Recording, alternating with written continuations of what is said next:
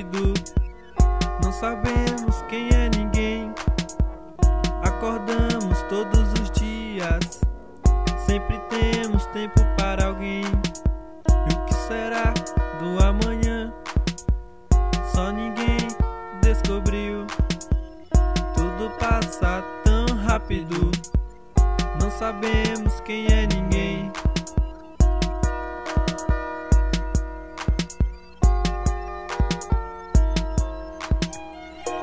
Enquanto uns estão indo, outros não têm volta. É tudo um precipício de acasos, com as melhores paisagens vistas da altitude, no reverso da profundidade, problemas dos inocentes, tristezas, e no reverso, um dia não enche a barriga dos dias. Falta mais alegria, e no reverso, vai e vem sem volta.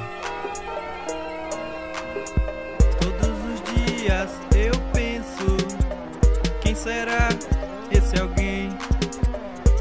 passado eu vi que ninguém conseguiu a hora certa do tempo.